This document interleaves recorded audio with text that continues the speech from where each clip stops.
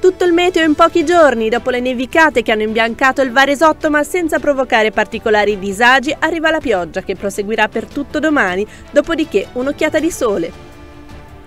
Spettacolare e partecipata come sempre la tradizionale serata della Giobia con il falò e l'elenco dei desideri. Vi raccontiamo la grande festa di Busto Arsizio. Si apre il mese per la vita, tra gli appuntamenti in programma Cineforum, dibattiti e una visita guidata alla casa natale di Papa Paolo VI. A pochi giorni dalla scomparsa di Giuseppe Zamberletti alla vigilia dello speciale che Rete 55 dedicherà alle esequie, Somma Lombardo cerca di rafforzare la propria dote di volontari e avvia un corso ad hoc. Nella pagina sportiva il rinvio della gara del Varese, le ultime dalla Pro Patria con il collaudato appuntamento di Bianco-Blu stasera su Rete 55, poi le anticipazioni di Bocce Forum.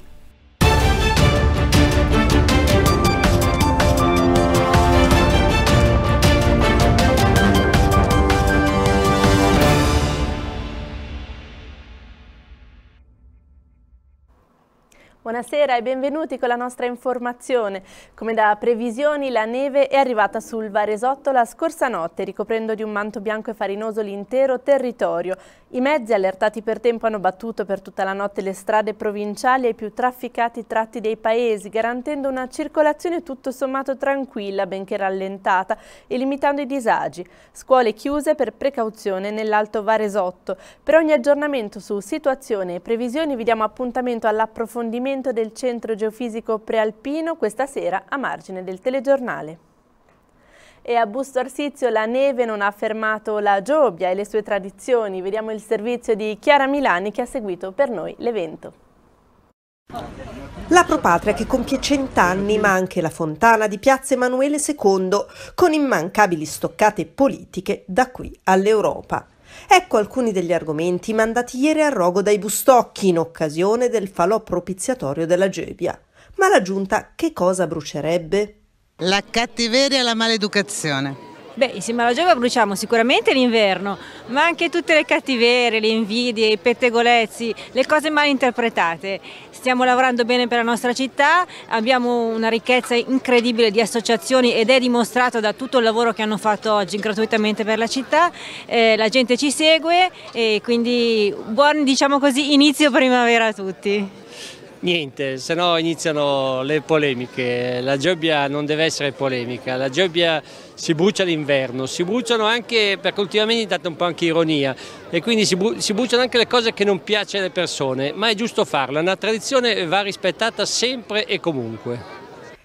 Tra chi si toglie qualche sassolino dalla scarpa e chi si mantiene diplomatico, l'esecutivo ha partecipato ai falò, seguiti dalla tradizionale risottata con la luganica, non soltanto in centro, ma anche in periferia.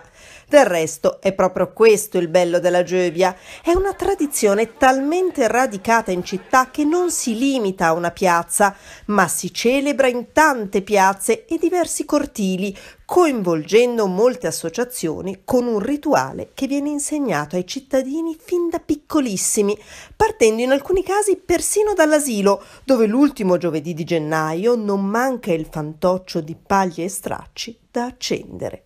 Anche se ai giorni nostri naturalmente le precauzioni legate alla sicurezza sono molte di più. Ma ancora oggi, quando, come ricordava una delle Gebbie, i genitori passano più tempo al cellulare che a giocare con i propri figli, questa millenaria tradizione è capace di riunire le famiglie e riportarle in piazza, nonostante le temperature non siano praticamente mai miti, perché il fuoco che arde nel cuore dei bustocchi nei confronti di questa usanza scalda davvero tutti i cuori. E ora la cronaca, rapina una tabaccheria, viene arrestato, è accaduto a Castellanza, in manette un uomo di 50 anni pluripregiudicato e disoccupato, dovrà scontare una pena residua di due anni e cinque mesi. Si apre il mese per la vita e moltissime sono le iniziative organizzate per le famiglie a Varese e non solo. La famiglia come bene insostituibile della società è al centro della 41esima giornata per la vita che si celebra in tutta Italia il 3 febbraio, proponendo una riflessione sulla bellezza dell'esistenza dal principio alla fine e sulla famiglia come sua culla natale. Molti gli eventi e gli approfondimenti nella città di Varese per tutta la durata del mese della vita. Domenica nelle piazze delle chiese saranno distribuite le arance a sostegno delle opere di volontariato del Movimento e Centro Aiuto alla Vita di Varese, Malnate e Valceresio. Martedì 5 febbraio primo appuntamento con il Cineforum al convento dei frati Cappuccini, con Wonder, film sul bullismo, il 12 febbraio con l'Enfant sulla paternità e il 19 febbraio con Una famiglia sul traffico di neonati. Il 19 e 22 febbraio appuntamenti per bambini e ragazzi.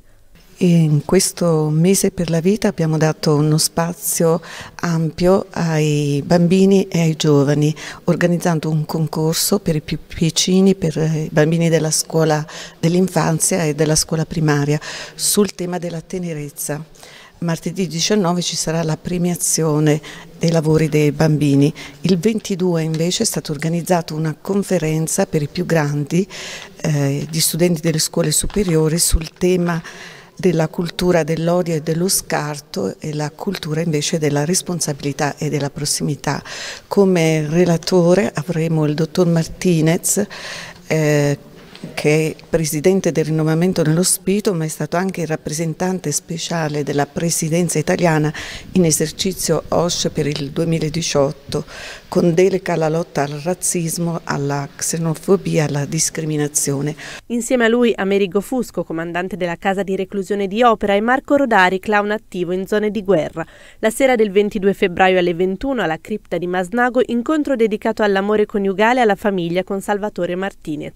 Il 23 febbraio visita la casa natale di San Paolo VI, Molti gli appuntamenti organizzati dalle associazioni pensati per adulti e bambini e tutti consultabili sul sito vitavarese.org. La mia presenza qui oggi a questo evento è per sottolineare la vicinanza della Chiesa a tutto ciò che serve per la vita. Sono diverse iniziative che il Movimento per la Vita insieme ad altre associazioni ha pensato per questo mese che da anni è dedicato alla vita ed è bello perché si possa riflettere la vita in tutti i suoi aspetti, in quelli per chi nasce, per chi vive, per chi muore e tante volte viene a mancare questo rispetto della vita, non soltanto quella nascente ma anche durante la propria esistenza, basta vedere vedere i tanti femminicidi, i tanti omicidi che vengono compiuti per, modi, anche per motivazioni molto superficiali, ci dicono che abbiamo bisogno di riscoprire questo, tutti insieme, perché la nostra società possa essere una società che ama la vita e che difende la vita. Da 29 anni siamo sul territorio, operiamo a Busto Arsizio con una sede eh, in via Pozzi e una volta alla settimana siamo anche presenti in ospedale. Eh, nel 2018 abbiamo avuto la fortuna di far nascere 47 bambini, abbiamo assistito 79 donne, eh, 65 delle quali gestanti. Eh, le percentuali ehm, sono il 9% sono donne italiane, il 91% donne straniere. Eh, solitamente quando accogliamo le nostre donne al centro, nella nostra sede, ehm, sono per la maggior parte straniere, mentre in ospedale eh, sono più le donne italiane che incontriamo. Del resto si sa, dopo i giorni della merla, quest'anno nel Varesotto, contraddistinti persino dalla neve, la parte più fredda dell'inverno dovrebbe essere passata e sui terreni si dovrebbero iniziare a veder spuntare i primi germogli delle primule. Un segnale che la speranza può sempre tornare a fiorire anche per le mamme in difficoltà. Così puntuale sabato 2 e domenica 3 febbraio su tutti i sagrati di Busto Arsizio e della Valle Olona torna il Primula Day del Centro di Aiuto alla Vita.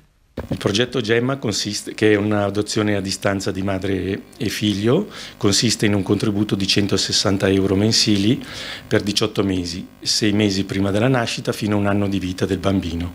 Noi qui a Busto ehm, non abbiamo usufruito di questo progetto, però grazie alla generosità dei bustesi siamo riusciti a offrirne ben 9 di questi progetti alle future mamme eh, italiane. E a questo proposito è bello ricordare e ringraziare ancora una volta la parrocchia di San Giuseppe eh, dell'ospedale perché eh, da ben 22 anni ogni anno riesce a fare un progetto Gemma e donarlo alle mamme italiane. Si apre domani al Museo del Tessile di Busto Arsizio la mostra dedicata a Maria Lai e Franca Sonnino, capolavori di fiber art italiana. Un'esposizione dedicata a una grandissima artista riconosciuta a livello internazionale e alla sua allieva prediletta, ancora in attività, che resterà aperta a Busto Arsizio fino al 3 marzo. Si tratta di un progetto espositivo proposto dalla Fondazione Bertolaso Totaro Sponga in, in collaborazione con l'assessorato alla cultura di Busto. E la protezione civile di Somma Lombardo è invece alla ricerca di nuovi volontari. Vediamo il servizio. Il volontario di protezione civile ha un ruolo prezioso nella comunità in cui opera. Diffonde la cultura di rispetto dell'ambiente, scende in campo con coraggio per difendere il territorio, spesso vittima di atti vandalici e di catastrofi naturali, e lavora a stretto contatto con i giovani, partecipando ad incontri nelle scuole per educarli e sensibilizzarli. Il volontario di protezione civile è dunque una risorsa inestimabile che va tutelata e gratificata. Il gruppo di Soma Lombardo, attivo da dieci anni, è sempre pronto ad intervenire e ad affiancare le forze dell'ordine per mantenere un clima di pace e di sicurezza in città. Il nostro gruppo è un gruppo di volontari del Comune Soma Lombardo ed è attivo sulla provincia da più di dieci anni è regolarmente iscritto all'albo regionale del volontariato ed è composto da 20 volontari suddivisi in tre squadre, più una squadra di primo intervento. Agiscono a tutela del territorio, dell'ambiente, in aiuto alla cittadinanza, sia in uh, situazioni emergenziali che in situazioni di pace. Le attività del nostro gruppo principalmente sono logistica, taglio alberi e rischio idrogeologico. Servono nuovi volontari, giovani e pieni di voglia di fare, prosegue Sanna. E a chi ha più di 18 anni e ha voglia di lavorare sul territorio e ha voglia di aiutare le persone in caso di emergenze, in caso di calamità, di venire a trovarci il primo e il terzo mercoledì del mese in via Processione 9 a Somma Lombardo oppure lasciare un loro recapito ai vigili urbani di Somma e verremo, verranno contattati. Somma Lombardo, città a misura di bici, a dirlo l'assessore Ilaria Ceriani. A Somma Lombardo si torna a parlare di viabilità sostenibile e si punta l'attenzione in particolare sulle piste ciclabili. La cittadinanza è invitata a partecipare a un incontro pubblico dedicato al tema, in programma nella sala polivalente della Biblioteca cittadina il 4 febbraio.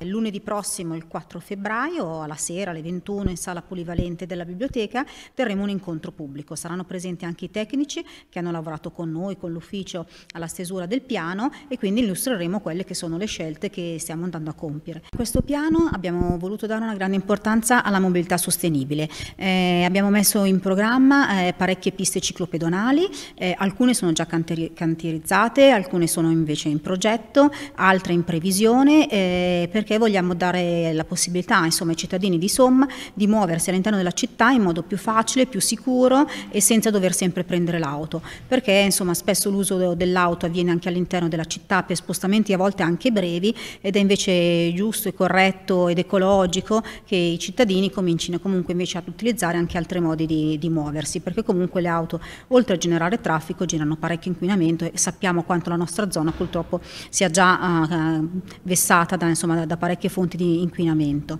e quindi questo è sicuramente un punto fondamentale del nostro piano. Un coro per dire no all'omofobia. Continua a Cardano al Campo la rassegna di musica barocca che questa sera porta nella sala consiliare Sandro Pertini il coro di voci maschili Cosmos che spazieranno dalla musica rinascimentale a quella contemporanea. Il progetto Cosmos, Comos nasce a Bologna nel 2008 ed è la prima formazione gay corale d'Italia diretto da Lorenzo Orlandi, vuole diffondere e promuovere la conoscenza della musica abbattendo stereotipi e discriminazioni. La musica dunque per unire e avvicinare le persone. E il premio Chiara ricorda l'evento di domenica pomeriggio a Villa Recalcati a Varese. In programma la premiazione del primo concorso di videomaking lanciato l'anno scorso e incentrato su un cortometraggio dedicato alla figura di Piero Chiara. Appuntamento alle 17. Per ora con le principali notizie mi fermo qui, ci vediamo tra poco con la pagina sportiva.